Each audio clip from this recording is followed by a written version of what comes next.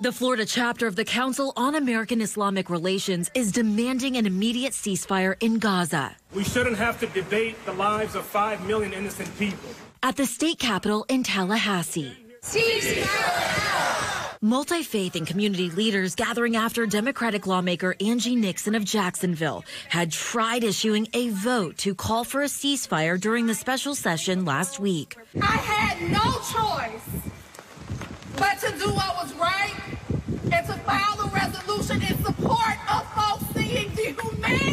Nixon had said we are at 10,000 dead Palestinians and asked how many will be enough when a Republican lawmaker said all of them.